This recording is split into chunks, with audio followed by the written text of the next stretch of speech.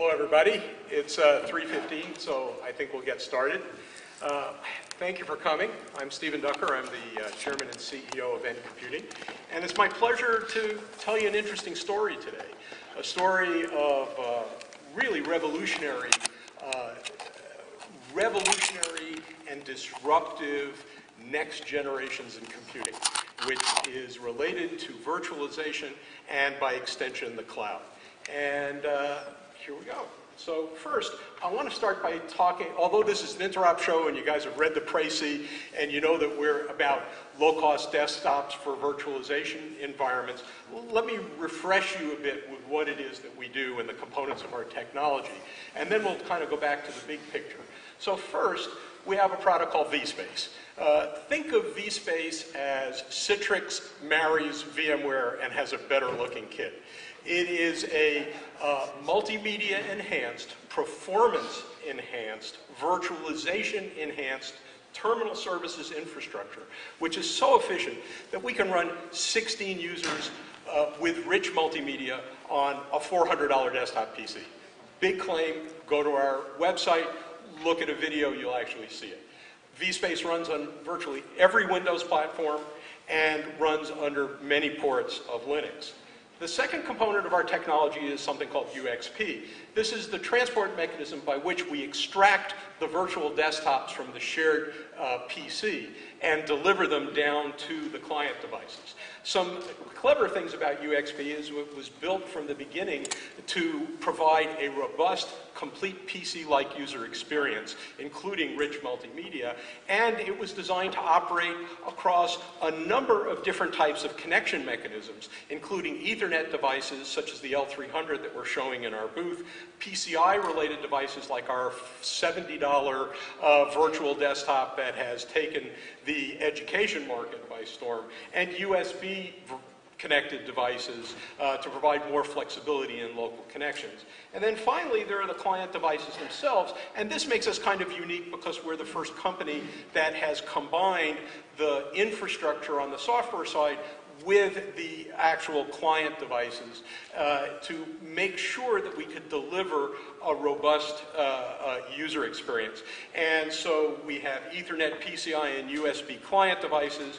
Uh, we announced several uh, weeks ago that uh, we made our, our chip that powers these devices available to third parties like LG with their recently announced network monitors and several other very large OEMs who will be announcing products based on NComputing chip technology and vSpace later this year, and N Client, which is an unannounced product, and my marketing guys are probably all going to kill me right now, which is essentially a soft client that will work on any uh, Windows or Linux x86 environment or ARM-based environment for telephones, pads, and other sorts of cool devices that you'll see coming shortly.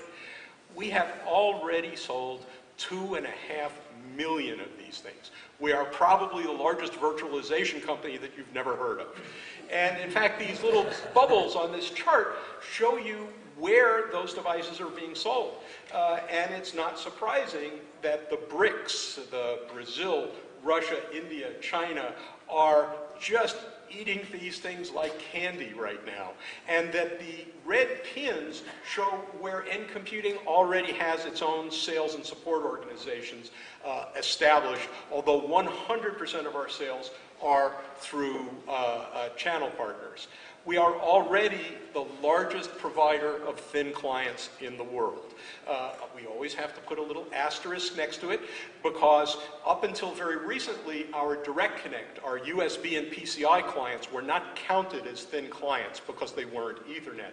However, uh, IDC, uh, starting about uh, a year ago, footnoted their schedules to say, by the way, NComputing, who's maybe the number four in uh, Ethernet clients, also sells these Direct Connect devices. And if you add the two, since Q2 of last year, we have been the largest provider of client devices in the industry.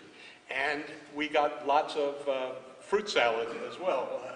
Great awards, some of the most significant awards in the industry. In fact. The Wall Street Journal Tech Innovation Award, which is probably the number one technology award in the United States, was given to us in the computer systems category. And very interesting, the chief judge on the Wall Street Journal's panel was the CEO of VMware. So she clearly understood our contribution. Gartner named us the cool product in the client uh, sphere last year.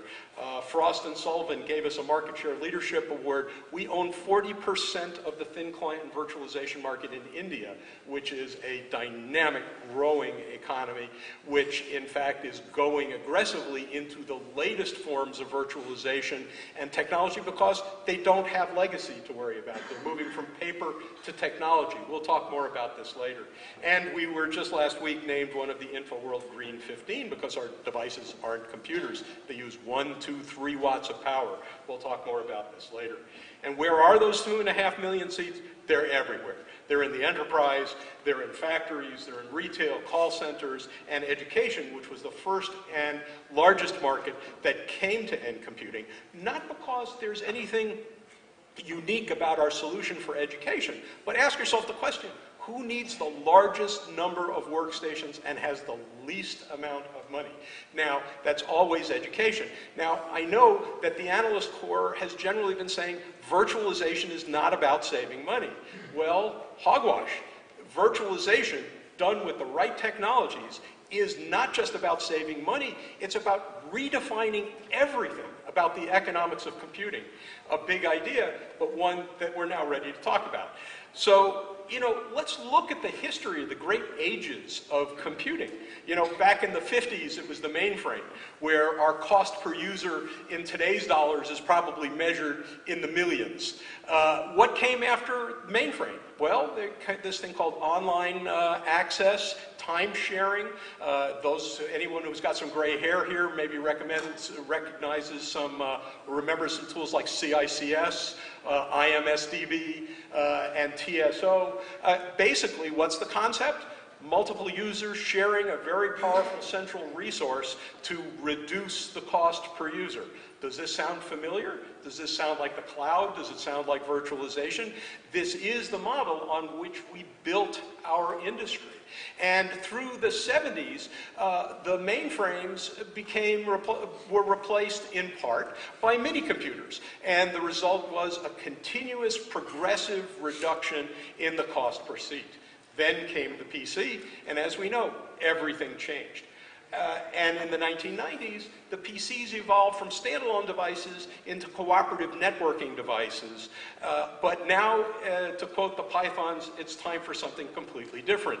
And that's the virtualization revolution. But the virtualization revolution, you know, we've been talking about it now for almost five years. It's been the number one story in the IT press about what's the next big thing. But but about two years ago, the stories began to change to where's the beef? Why aren't we seeing any announcements of massive deployments of these kind of technologies? And the answer is very simple. It costs too much. And, and, and in fact, in each and every step of the advance of, our techno of technology in our industry, in order for those new technologies to go mainstream, there must be some compelling reason which is usually expressed in lower purchase cost. You know, I, will ask a rhetorical question, but who here contemplates the reaction of their CIO or CFO if you walk in and say, well, for next year, what I'd like to really do is spend two to three times per seat what we spent last year, but don't worry, it's going to pay back over the next five years. Uh, you know, this is the reason why virtualization on the desktop hasn't gotten really started, as well as the fact that thin client computing, the progenitor, uh, achieved a whopping 2% of the total marketplace, enough to make some tremendously creative and successful companies like Citrix. We only hope that our contribution can be as great as theirs. Uh, but the fact is, 2% is, the, is how much of the market went there. And for virtual desktops to go mainstream, they can't cost more. And what's more, they shouldn't cost more.